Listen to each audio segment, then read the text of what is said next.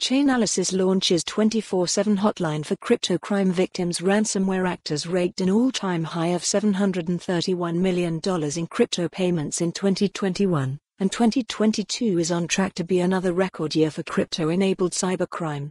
Blockchain research firm Chainalysis has launched a new hotline that will provide support for organizations that have been targeted by a crypto-related cyber attack or ransomware demand. The crypto incident response hotline will function 24/7, and victims will be paired with a team of investigators from Chainalysis who will trace and label the funds in Chainalysis program.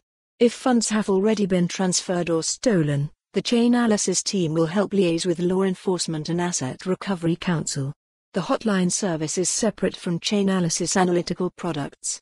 A spokeswoman for Chainalysis told Coindesk that victims do not need to be existing customers of Chainalysis at the time of the attack. Ransomware criminals had a record year in 2021, raking in $731 million in crypto payments. According to Kim Grauer, Chainalysis head of research, ransomware gangs are only getting more sophisticated.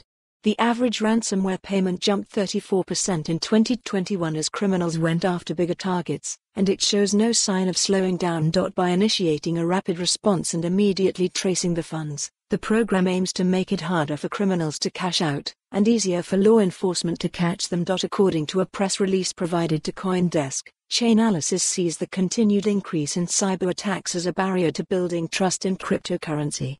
We're investing in this service not follow the URL for the full article for more on this story, visit the news article link.